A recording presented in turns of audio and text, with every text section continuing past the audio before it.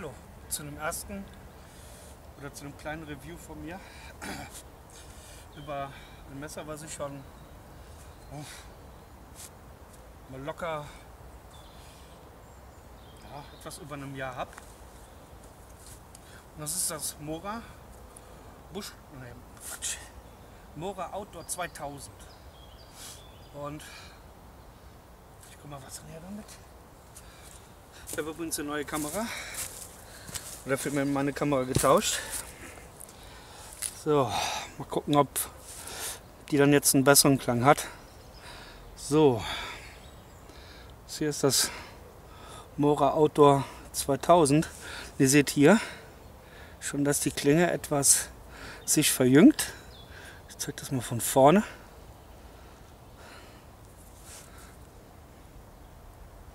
Hm. Kann man ganz gut sehen. Hier in der Wölbung.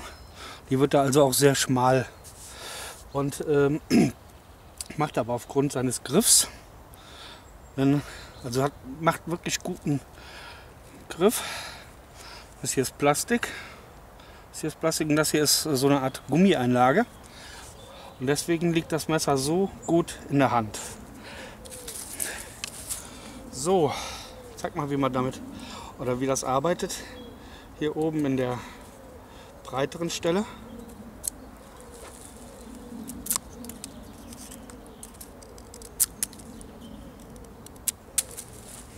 Schon weiter weggehen. So, und jetzt kommen wir zu der kommen wir zu der schmalen Stelle und der Klinge, die ab hier losgeht. Sagen wir so zu ja, nach 60 Prozent der Klinge. Und da weiß ich nicht, was sich Mora dabei gedacht hat.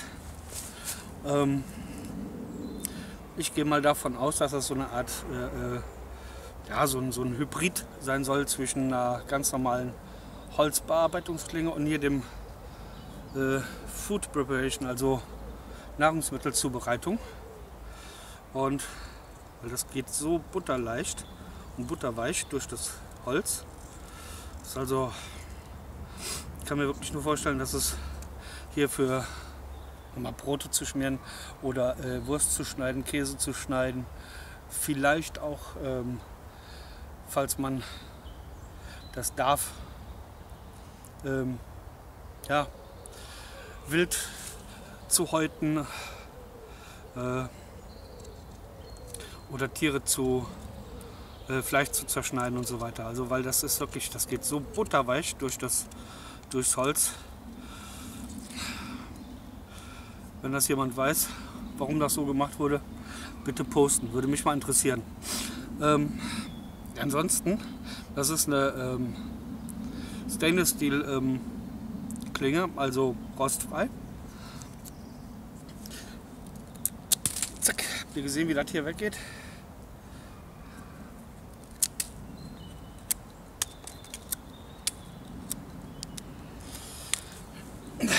Das Messer wiegt um die 95 Gramm.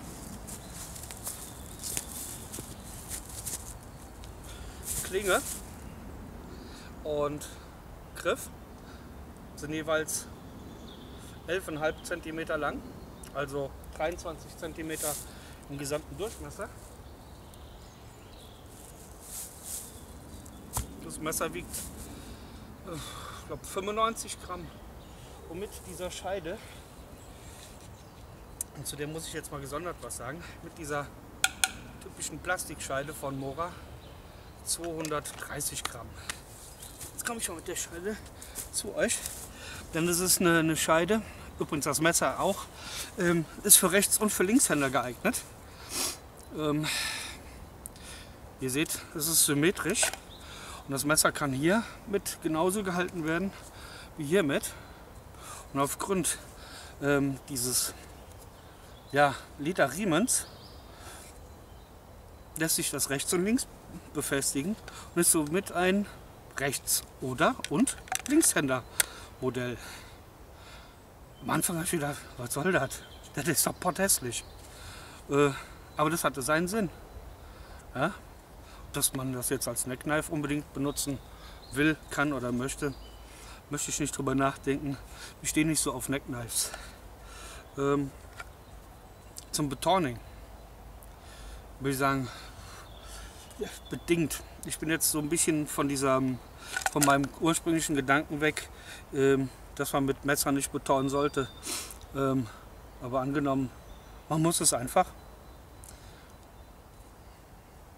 Weil man ja, die Orientierung verloren hat, ähm, einen Unfall hat und muss eine Nacht draußen bleiben. Wenn man dann halt damit betonen muss, muss man es halt. Man muss ich jetzt gucken, oder will ich jetzt sehen, ob das geht. Ich habe es schon mal bei Equip to Endure, kennen wahrscheinlich auch viele von euch, bei Equip von, äh, to Endure gesehen. Allerdings äh, geht da mit, diesen, mit den Messern immer relativ rabiat um. Und ich merke gerade, ich habe mein Headset noch an. Das ist eine typische Krankheit von mir vom LKW-Fahren. So, wollen wir betonen, oder?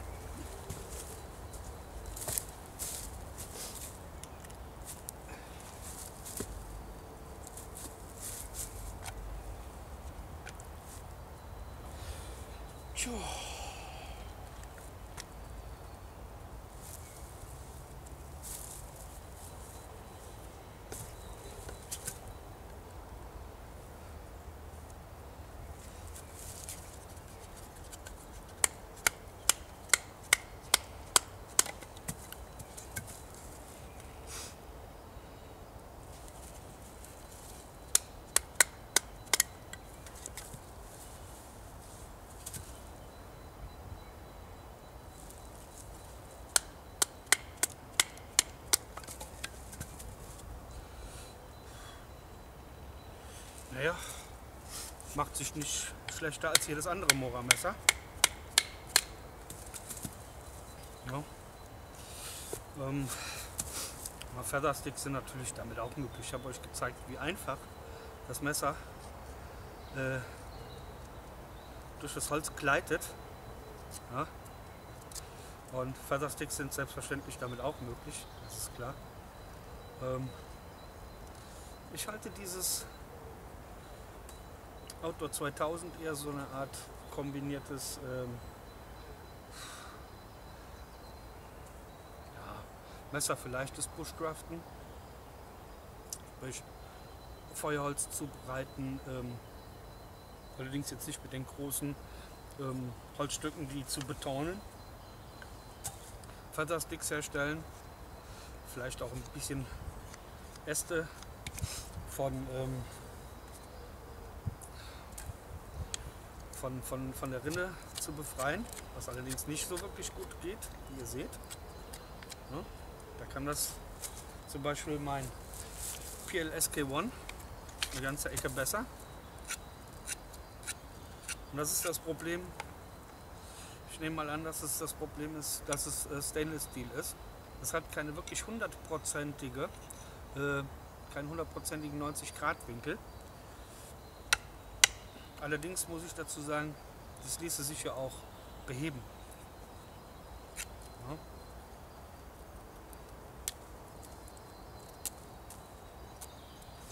Einen Feuerstall damit abzuziehen, ist schwierig.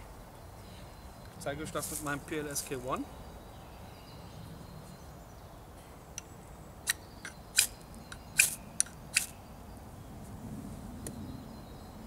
Und jetzt hier mit dem Outdoor 2000. Das geht auf der Rückseite gar nicht. Ne? Also auf der hinteren Seite geht das gar nicht. Allerdings mit der vorderen Seite, allerdings nicht mit der Klingenoberseite, also mit der Klingenseite, sondern schon noch mit dem Klingenrücken.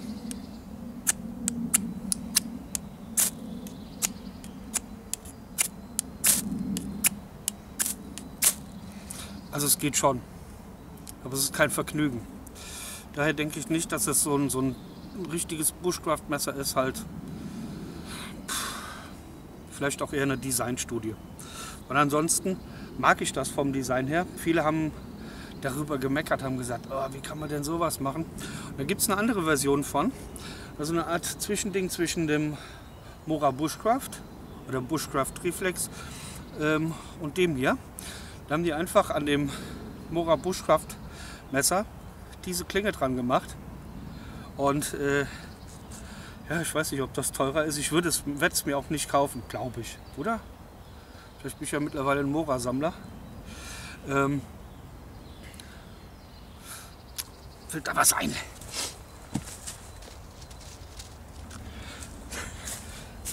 Weil ich kann ja, ich kann es einfach nicht lassen, über Serrations zu signieren. Seht ihr. Zop und durch.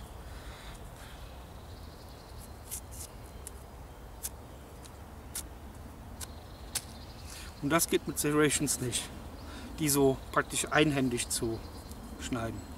So, Fazit von diesem Messer. Wirklich liegt auch sehr gut in der Hand. Ja. Ähm, Fazit für das Messer als Backup. Ähm, Messer im Wald. Das ist eine feine Sache, auf jeden Fall. Das Messer kostet so um die 36 Euro. Bei HKGT natürlich. Ähm, Kaufempfehlung, weiß ich nicht, ob ich hier aussprechen würde. Äh, den gleichen Job, den das Messer macht, macht auch das Bora äh, 510 Black. Ähm, aber für den Mora Sammler das mit Sicherheit ein schönes Messer. So, das war's. Ich hoffe, diesmal ist die Aufnahme besser gelungen. Vor allen Dingen das Mikro. Ich habe nämlich jetzt eine Sony-Kamera und die soll, so steht es in der Online-Beschreibung, einen Surround-Sound haben. Vielleicht hat einer von euch eine Surround-Anlage und sagt mir, ob das stimmt. So, vielen Dank fürs Zuschauen. Bewertungen, Kommentare werden sehr gerne gesehen, das wisst ihr. Neue Subscriber natürlich auch. Lasst von euch hören. Danke fürs Zuschauen und danke für die Zeit, die ihr dafür aufwendet, meine Videos zu gucken. Wir sehen uns im nächsten Video. Macht's gut. Tschüss.